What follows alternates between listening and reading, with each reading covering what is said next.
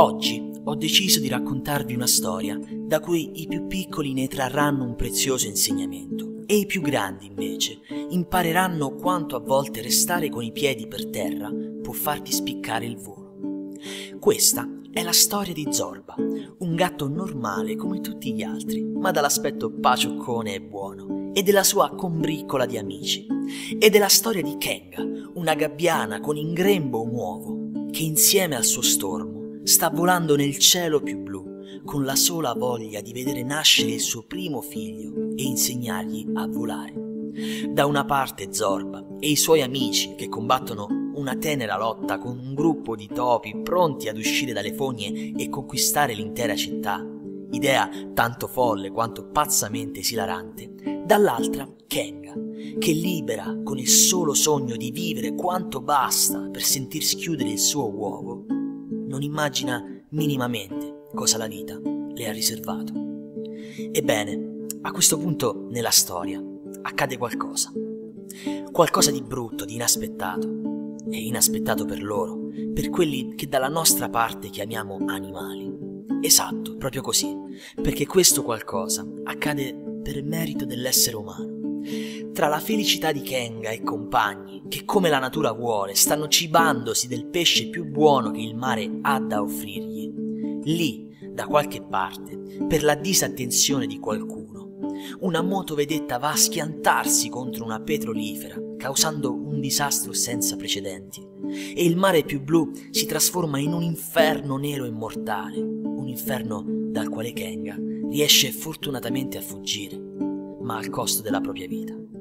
Con le sue ultime forze tenta in tutti i modi di trovare un riparo per poter deporre il suo uovo. E la vita qui decide di entrare in scena in una maniera del tutto imprevedibile.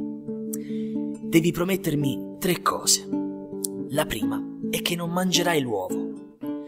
La seconda è che te ne prenderai cura finché non nasce il piccolo. E la terza è che gli insegnerai a volare.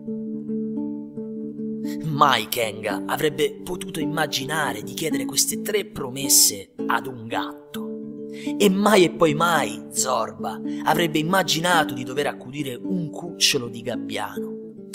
Ma la vita in fin dei conti da sempre agisce così, ha un suo equilibrio. Per un fatto brutto che accade, lei cerca subito il rimedio più grande. Una mamma gatto per un cucciolo gabbiano. Eppure tra i due, nonostante il fatto completamente privo di radici naturali, non c'è stata alcuna titubanza, ma solo amore. E così iniziò il lungo cammino di un gatto che con il suo cuore grande andò contro la propria natura e aiutato dalla complicità dei suoi amici, sfidò tutto e tutti pur di mantenere quelle tre promesse fatte a Kenga. E non mangiò l'uovo, fece nascere il cucciolo e la chiamò Fortunata.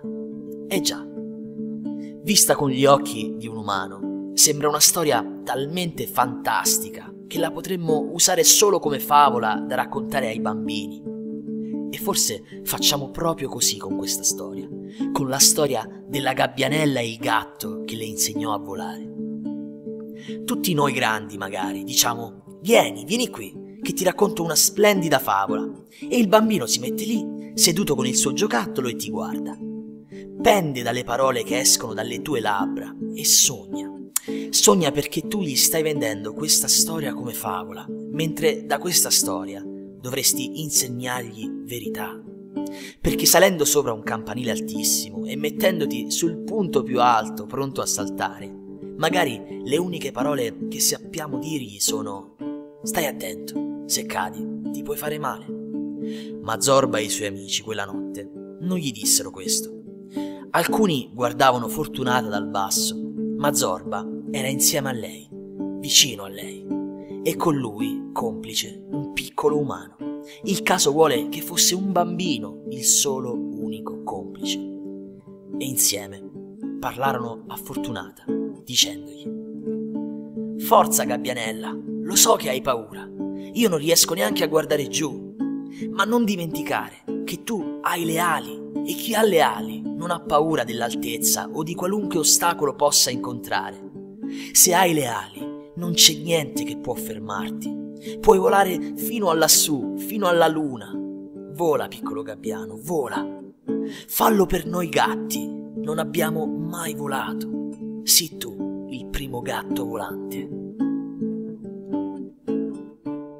I piedi miei non toccano più Sto volando dentro il blu.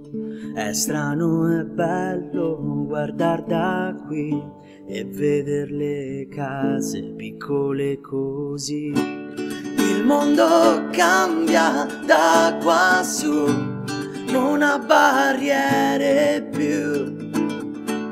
E tutto questo, amici miei, io lo devo solo a voi. So volare, non l'avrei detto ormai. So volare, non ci speravo ormai. So volare.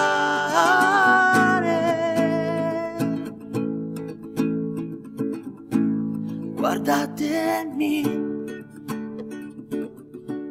guardatemi, sembra un gioco volar così.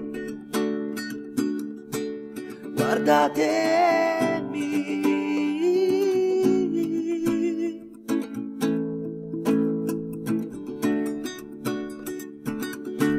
Guardatemi sembra un gioco volar così. Guardatemi.